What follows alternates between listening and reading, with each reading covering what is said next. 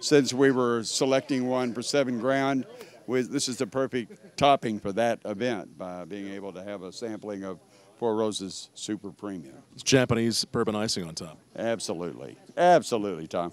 And uh, it's very special, and it is available only in Japan Or if we know you. at this time. Oh, if you know me, or, or if you're at the seven grand barrel selection today. So Great. Arigato.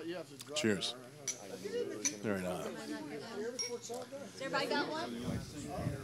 Why is this only available in Japan? You know, this is a carryover from the Seagram days when they offered them that and fine old bourbon. And right now, there's no indication that we want to bring it into the United States as well. So we're still making it an export item only for Japan. we could put in a vote for you to bring it. One vote, Two, two, three, four. As many as we could get. And we have a uh, screw cap on top of it. There will be a foil uh, covering on top of that as well. And we figured it would keep it from moving and so forth, or the possibility of having the cork eke its way into the body of the bottle.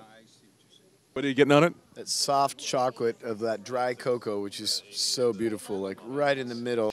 Um, but you know, like light citrus on the nose. What do you think of this one? Uh, unbelievable. Really, really good. I'd like to introduce it to the United States. Yeah, my sentiment. We, get, we kind of just did, but Good. you know, we can't get him any bottles. We'll just have a sip for you. How's that? Let's see what let's see what Karen thinks of it here. Karen, had you had you tried this till today?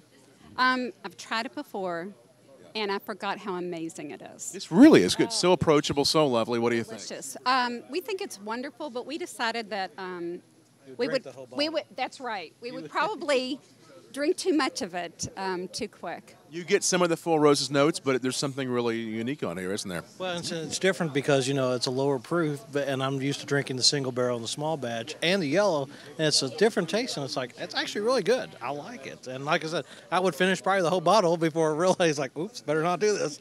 So Can we get this in the U.S. at some point? You think it'll happen? Oh, I don't, I don't know. I mean, it's exclusive to Japan. It.